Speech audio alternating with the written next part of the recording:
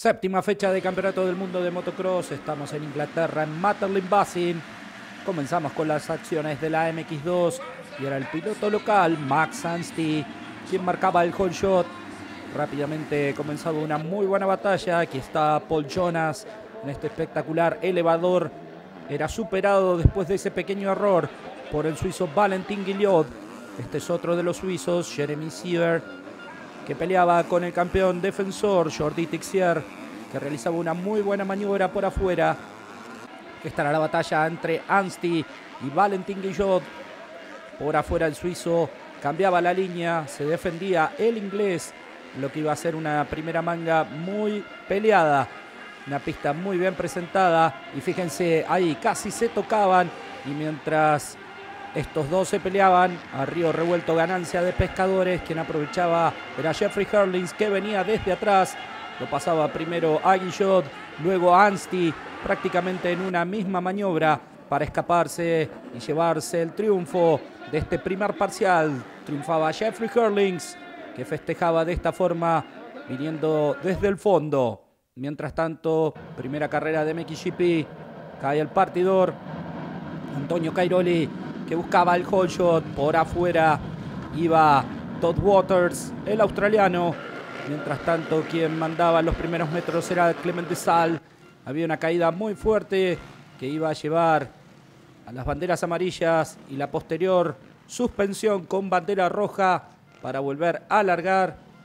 Se atendían a los pilotos involucrados y teníamos nueva largada. Esta vez Tony Cairoli Largaba muy bien con la 450.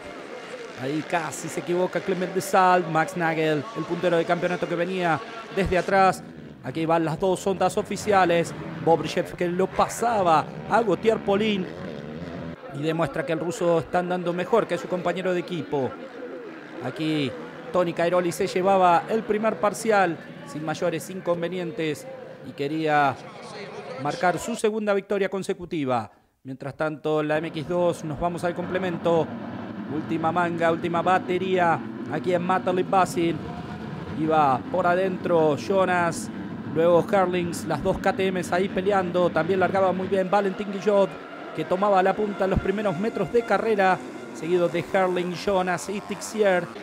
Inspiradísimo el suizo, ahí se equivocaba y era atrapado por Jeffrey Herlings en ese largo salto. Realmente una pista con muy buen diseño, algunas piedras sueltas y fíjense el suizo que entre comillas le faltaba el respeto a Jeffrey Herlings y le demostraba que tenía la velocidad para poder pelear por la victoria. Un pequeño error de Jonas que rápidamente es corregido en la zona rítmica y aquí tomaba confianza el suizo en ese impresionante elevador y quería escaparse, sabía que si ganaba tenía su segunda victoria consecutiva en el Mundial. Herlings que dejaba absolutamente todo, pero caía la bandera cuadros y era festejo para Valentín Guillot que le gana mano a mano y un muy buen saludo, un gesto deportivo entre estos dos grandes pilotos. Iba a ser victoria de Valentín Guillot, segundo Harlings, tercero Tixier, cuarto Jonas y quinto Anstie en la general. En el campeonato sigue mandando Jeffrey Hurling sin problemas. 308 puntos, 92 puntos atrás, 216 para Guillot. Jonas, 213 unidades. Gran carrera de la MX2, segunda victoria consecutiva, realmente inspirado.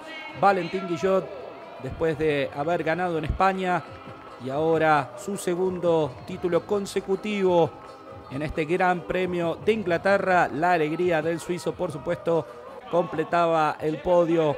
Jordi Tixier, que quedaba detrás de Jeffrey Hurlings, que iba a recibir también el plato rojo como puntero del campeonato. Ahí lo teníamos a Tony Skillington de la Federación Internacional de Motociclismo entregando la placa roja al líder del certamen. Copas arriba, se va a venir la lluvia de champagne para luego también estar entrevistando al ganador. Aquí lo tenemos. Bueno, la segunda manga estuvo ok, sabía que tenía la velocidad para ganar. Largué bien y cuando me pasa Jeffrey intenté calmarme. Luego vi que podía atacar de nuevo y lo pasé. Ahí dije, debo estar tranquilo. Es espectacular competir de igual a igual con un piloto del nivel de Jeffrey. Quiero agradecer a todo el equipo, a mis mecánicos, a mi manager y por supuesto a todos los sponsors. Lo hemos logrado por segunda vez y es una sensación increíble haber podido ganar de nuevo en esta competencia aquí en Matterlin Basin. La alegría de Valentín Guillot, que así se manifestaba ante las cámaras de MXGP. Y esta era la definición de la categoría más grande. Última batería. Cargaba bien John Simpson por dentro. También estaba Max Nagel con los Barna oficial. Ahí se iba el piloto local. Adelante. Quien cometía este pequeño error era Tony Cairoli. Iba a parar al piso, pero rápidamente mantenía su motor en marcha y empezaba a atacar de nuevo.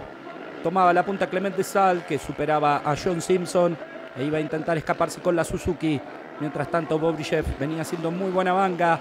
Cairoli lo pasaba a Simpson e iba en la casa del ruso.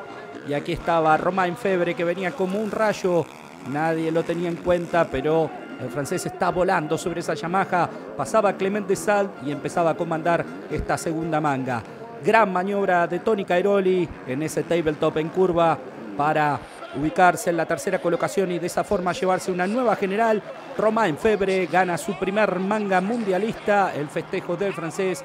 Y aquí venía Tony Cairoli para llevarse el segundo gran premio del año 2015. Su vuelta a la 450 ganó en España, ahora ganó en Inglaterra y quiere ser protagonista del campeonato. Esta es la general, Cairoli, De Sal y Febre el podio. Gran tarea de Bobryshev en el cuarto lugar. Max Nagel, el puntero del campeonato, quinto. En el campeonato, Nagel 295, De Sal muy pegado con 291, 21 puntos de Tony Cairoli al puntero del campeonato, el alemán Nagel. Momento de la coronación. Ahí está la entrega de la Copa Bruce Finn del estado de Matterlin coronando a Tony Cairoli. de esta forma sigue ganando en Inglaterra y es el que acumula más victorias en la historia de este Gran Premio. Sube también Max Nagel al podio para recibir la placa roja, si bien quedó quinto en la general, es el puntero del certamen que realmente está más que competitivo. Ahora nos preparamos para hablar con Tony Cairoli, que marca ese 6, sexta victoria en terreno inglés. La lluvia de, de champagne con el francés Febre, que también ganaba su primera manga mundialista y tenía mucho que festejar. Tony Cairoli regala su botella de champaña. Aquí lo tenemos. Felicitaciones, Tony. Segunda carrera consecutiva en este año. Seis victorias en el Gran Premio de Inglaterra, el mayor ganador en este GP. La 450 está marcando la diferencia. Estoy muy contento de ganar de nuevo en Inglaterra. Tengo muchos fans aquí muy buenos recuerdos. Sí, me gusta mucho esta moto, es mucho más fácil mantenerme en la punta con esta 450. Anteriormente arriesgaba demasiado a un error para estar con los punteros. Es más fácil, pero nunca es fácil ganar a este nivel. Cometí un pequeño error y tuve que remontar desde el séptimo, sexto puesto para ganar el Gran Premio. Sentí un poco de dolor en mi hombro en la caída, pero espero que se pase para la próxima semana. Así que seguiremos trabajando. Felicitaciones, Tony. De esta forma terminamos con esta nueva fecha del Campeonato del Mundo de Motocross. Soy Gato Barberí y los espero pronto con más MXGP. Chau, que la pasen muy bien.